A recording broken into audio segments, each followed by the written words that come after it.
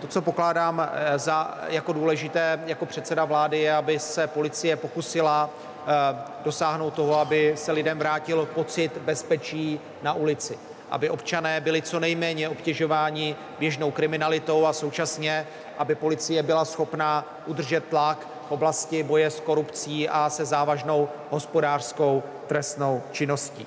Vítám fakt, že se policie v uplynulých měsících více zaměřila na boj s organizovaným zločinem v oblasti výroby a distribuce drog.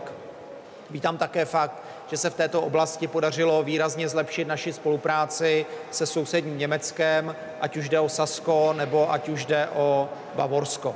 Pokud jde o stabilizaci policie, nelze si ji představit bez zlepšení ekonomických podmínek pro její fungování. A teď nemluvím jenom o platech, ale hovořím také o finančních prostředcích, které jsou potřebné na provoz eh, policie. Pokud je o platy, tak v minulých letech eh, platová základna byla zdevastována, škrty, které provedla Nečasová a Kalousková vláda. Jak jistě víte, policisté přišli před několika lety o 10% ze svých tarifních platů a chci potvrdit závazek vlády přispět k napravení platových poměrů u hasičů a policistů. Rádi bychom ten první krok podnikli už v rámci roku 2015 a tu nápravu dokončili v rámci rozpočtu roku 2016. Pokud je o další agendy a výzvy, které se týkají eh, rezortu ministerstva vnitra, co pokládám za důležité do budoucna. Jsem přesvědčen o tom, že by se ministerstvo vnitra mělo aktivněji, znovu aktivněji chopit otázky koordinace politiky státu v oblasti informačních technologií. Na všech ministerstvech, na všech rezortech, na všech ústředních státních orgánech narážíme na nevýhodné smlouvy, které byly v oblasti IT uzavřeny v minulosti.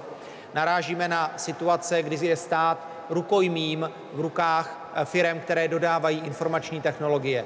Narážíme na to, že nejsou jednotné standardy z hlediska kvality služeb, které jsou státu v oblasti informačních technologií poskytovány.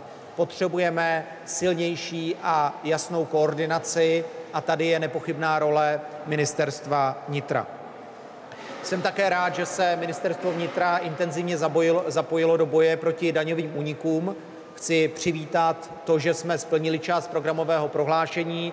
Vznikl specializovaný tým Kobra, který je založen na úzké mezirezortní spolupráci mezi ministerstvem vnitra a ministerstvem financí. Jsem rád, že tento tým už má své první výsledky a e, pevně věřím, že to jeho nasazení bude i v dalších týdnech a měsících vysoké a že ještě do konce letošního roku uvidí daňoví poplatníci konkrétní efekty této nové posílené spolupráce.